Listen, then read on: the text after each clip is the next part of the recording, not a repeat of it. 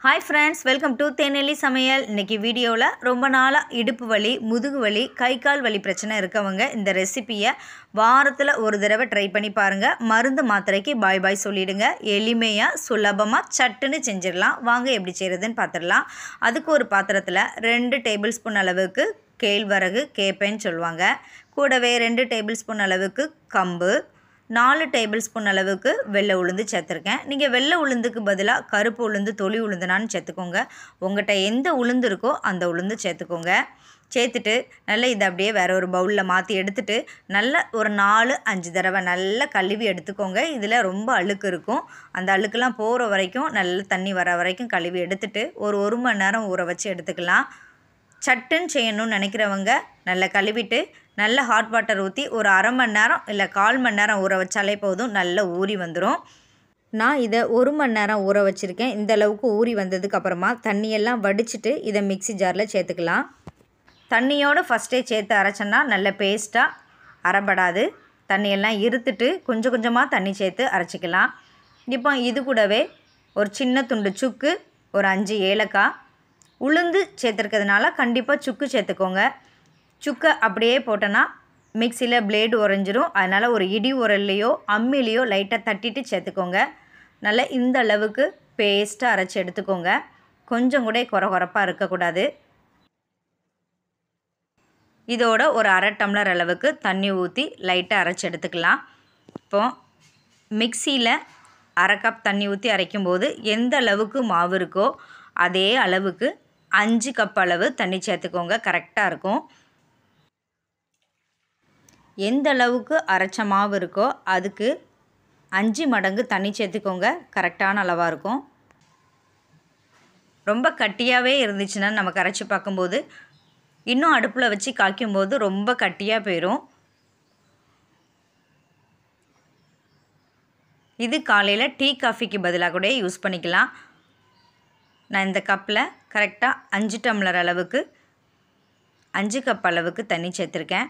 லிட்டரில் சொல்லணுன்னா ஒன்னேகால் லிட்டர் தண்ணி சேர்த்துக்கோங்க. நான் எடுத்த அளவுக்கு ஒன்னேகால் லிட்டர் தண்ணி கரெக்டாக இருக்கும். நல்ல தண்ணி ஊற்றி நல்ல தண்ணியாக தான் இருக்கணும். கரைச்சி எடுத்துக்கோங்க. இப்போ அடுப்பில் வச்சு லோ ஃப்ளேம் மீடியம் ஃப்ளேம் மாற்றி மாற்றி வச்சு அடி பிடிக்காமல் நல்லா கரைச்சி எடுத்துக்கலாம். நல்ல ஒரு அடி கனமான பாத்திரமாக பார்த்து எடுத்துக்கோங்க. அப்படி இல்லைன்னா குக்கரில் கூட இதை ஊற்றி நல்லா காய்ச்சி எடுத்துக்கோங்க. ஏன்னா உளுந்து வந்து சீக்கிரமாக கட்டி பிடிக்க ஆரம்பிக்கும் அடியில். உளுந்து சேர்த்துருக்கிறதுனால கண்டிப்பாக சுக்கு சேர்த்துக்கோங்க. சுக்கு உடம்புக்கும் ரொம்ப ரொம்ப நல்லது ஆரோக்கியமானதும் கூட. ஓரளவுக்கு கட்டியாக ஆரம்பிச்சிட்டு இந்த ஸ்டேஜில் இதுக்கு இனிப்புக்கு ஒரு அரை கப்புக்கு கொஞ்சம் அதிகமாக கருப்பட்டி எடுத்திருக்கேன். கூடவே ஒரு அரை கப் அளவுக்கு தண்ணி சேர்த்து நல்லா கொதிக்க வச்சு எடுத்துக்கோங்க. பாகுலாம் தேவையில்ல கரைஞ்சா போதும். நல்ல இந்த அளவுக்கு பச்சை ஸ்மெல்லாம் போய் நல்ல ஒரு ஸ்மெல் வரும். அது வரைக்கும் கொதிக்கட்டும். நல்ல இந்த கன்சிடென்ஸில் இருக்கிற மாதிரி பார்த்துட்டு நல்லா கலந்து விட்டுக்கலாம். இப்போ இதுக்கு தேவையான அளவுக்கு உப்பு கொஞ்சமாக உப்பு சேர்த்துருக்கேன். இனிப்பு சேர்க்கறதுனால கூடவே கொஞ்சம் தேங்காய் எடுத்து சின்ன சின்னதாக கட் பண்ணி மிக்சியில் அடிச்சுட்டு இதோட சேர்த்துருக்கேன். நல்ல பூ மாதிரி உதிரி உதிரியாக இருக்கும். நல்லா கலந்து விட்டுக்கோங்க. தேங்காய் உங்களுக்கு எந்த அளவுக்கு பிடிக்குமோ அந்த அளவுக்கு சேர்த்துக்கோங்க. டேஸ்ட் நல்லாயிருக்கும் தேங்காய் சேர்த்ததுக்கப்புறமா லைட்டாக ஒரே ஒரு கொதி வர வரைக்கும் நல்லா கலந்து விட்டுக்கோங்க.